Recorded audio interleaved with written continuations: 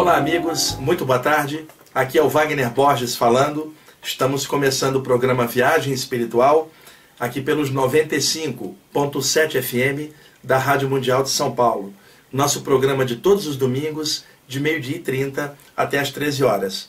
Abri o programa com essa bela música de um CD chamado Garden of the Beloved, é, O Jardim do Amado.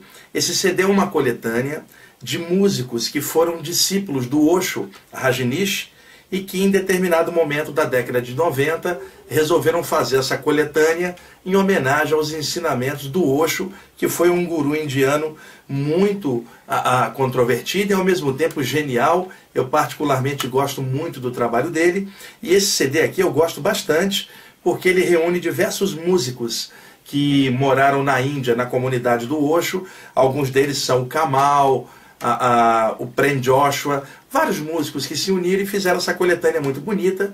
É um trabalho importado. Eu vou repetir o nome do CD: Garden of the Beloved, O Jardim do Amado. E nós usamos para abrir o programa a faixa número 1, ok? Aqui na parte técnica está o nosso amigo Jean, dando aquele apoio. Programa ao vivo, agora meio-dia e 39, aqui na Avenida Paulista. E eu quero passar para vocês hoje um texto, na verdade, eh, não era o meu projeto original, mas eu acabei achando esse texto aqui na minha pasta e eu acho que ele é pertinente se eu compartilhá-lo com ele, uh, compartilhá-lo com vocês.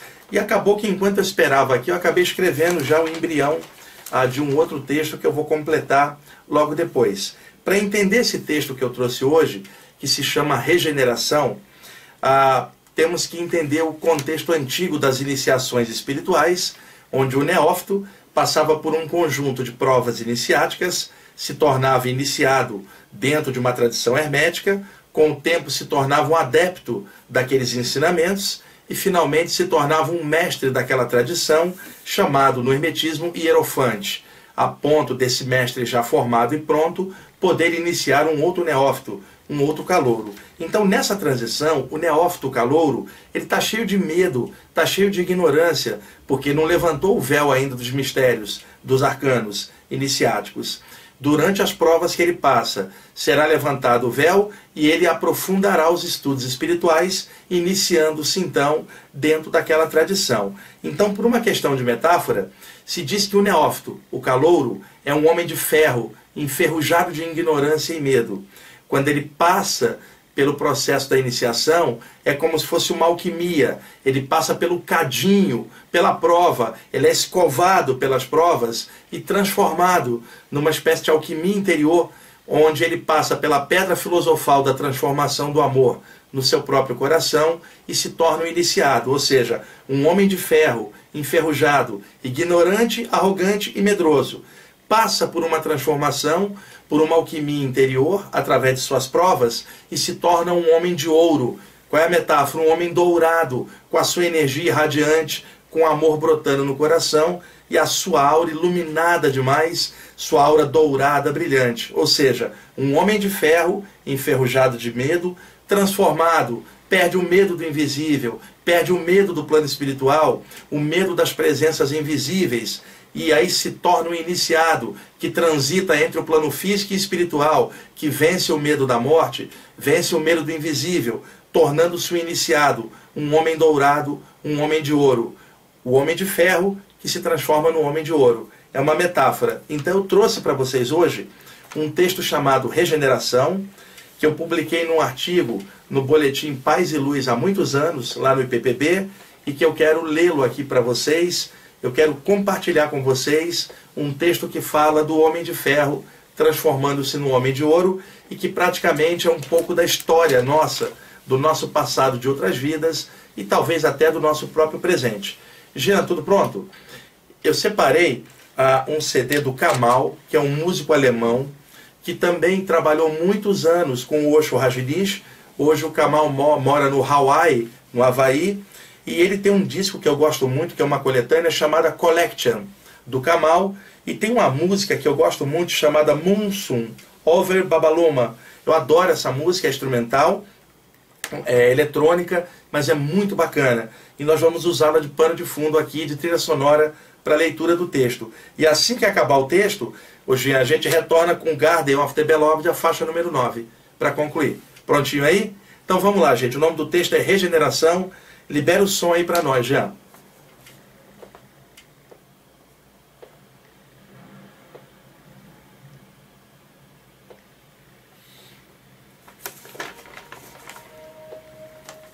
Houve um tempo em que fomos iniciados nas artes do espírito.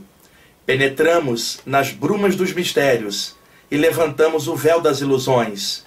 Ficamos frente a frente com a luz e descobrimos o mistério de nós mesmos.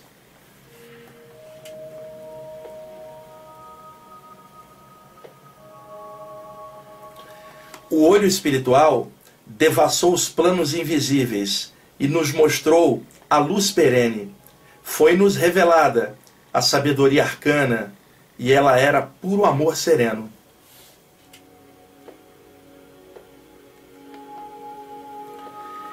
Em Sua presença solene, nossas posturas equivocadas e nossas emoções enferrujadas morreram, dissolvidas na luz.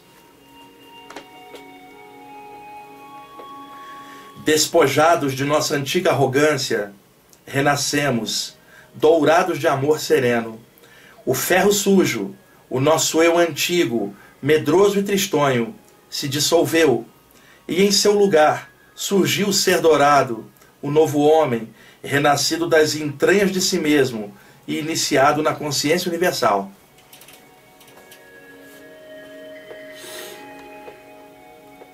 Expostos à luz suprema, nus em espírito e verdade, juramos seguir os desígnios superiores de liberdade, igualdade e fraternidade.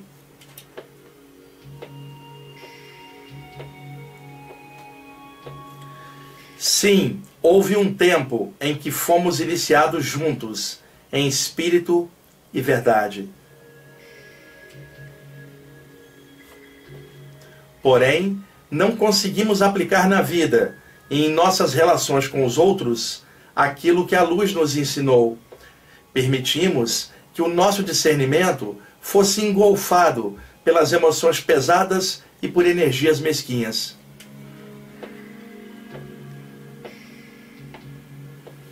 Gradativamente, sob o domínio das ilusões, fomos enferrujando novamente. Então, os nossos ideais espirituais foram manchados pelo sangue de nossas espadas a senda iniciática, que tanto prezávamos, foi inundada de sangue e violentada pelos nossos atos violentos e sem méritos. Lentamente, essa luz foi sumindo dentro de nossas emoções violentas. Felizmente, a justiça cósmica nos prendeu inexoravelmente em sua imensa teia kármica e, sob a sua ação depurativa, a dor se fez presente em nossos caminhos. Acicatados pelos desenganos e posturas equivocadas, lambemos nossas feridas e choramos a dor da queda no abismo profundo. Na verdade, profanamos a nós mesmos e pisamos em cima de nossos ideais, cheios de empáfia e de falsa glória. Contudo, a luz não estava morta dentro de nós. Paciente, ela, ela nos esperou em segredo, pois sabia que em nossa queda estava o embrião de uma grande lição e a possibilidade do recomeço. Serenamente, a luz viu o tempo e o karma operarem seu trabalho de regeneração em nós. A roda da vida girou, o tempo passou e estamos juntos novamente.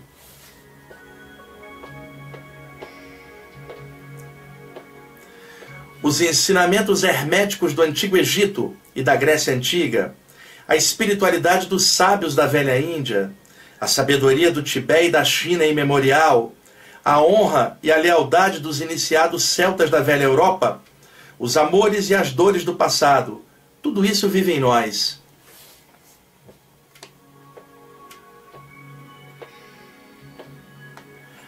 Tomara que, dessa vez, nós sejamos dignos dos valores espirituais que esposamos. Oxalá que a ferrugem se dissolva novamente e que brilhe em nós aquele amor sereno, como antes, naquele tempo bom, em nossos pensamentos, sentimentos e atitudes. Sim, estamos juntos na luz, mais uma vez.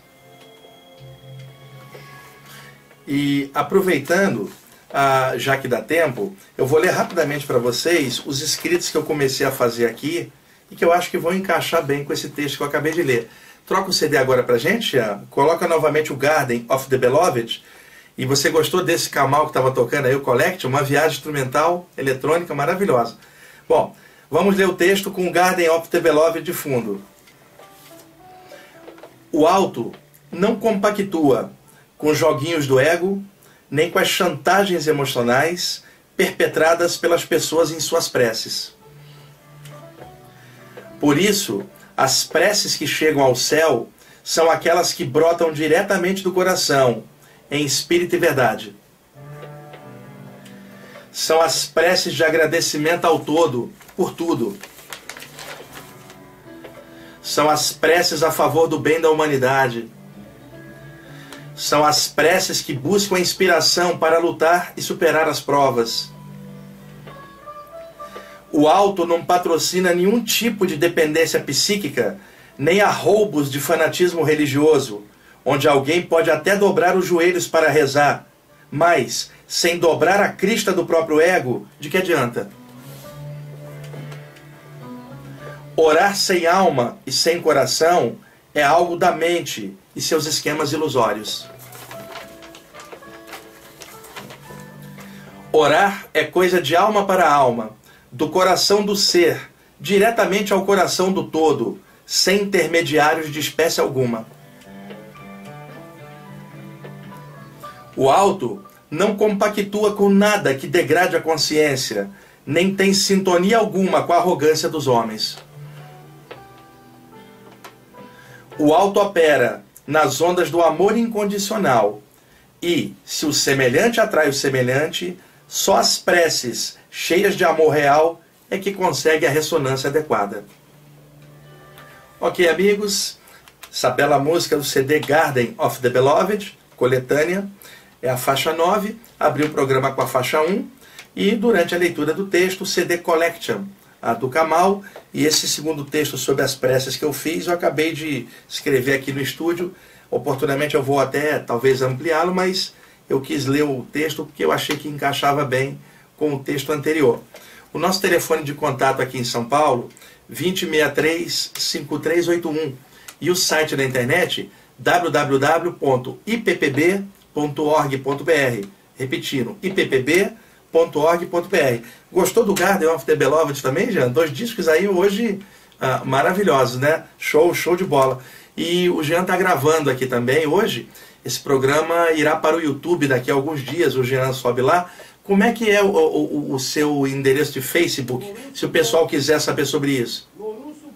Lorusso com dois S. Lorusso.jean com J arroba hotmail.com.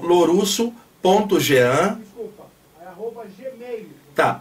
Lorusso.jean arroba gmail.com. Não tem BR. Lorusso.jean arroba gmail.com. Entrem lá, pede acesso ao Jean, que aí quando ele liberar esse programa ah, na internet, vocês ficam sabendo e assistem lá é, para ver como é que a gente faz o programa aqui ao vivo. Tá? É, muita gente tem essa curiosidade, tá bom? Jean, obrigado aí pela sua ajuda. Desci agora, meio-dia 56, vou almoçar ali embaixo. Você quer que eu traga um pastel para você? Você está de regime? O que, que você quer que eu traga? Alface com tomate? Não traz nada. Pastel de vento. Só. tá bom. Gente, obrigado aí pela audiência de vocês. Até o próximo domingo. Até mais.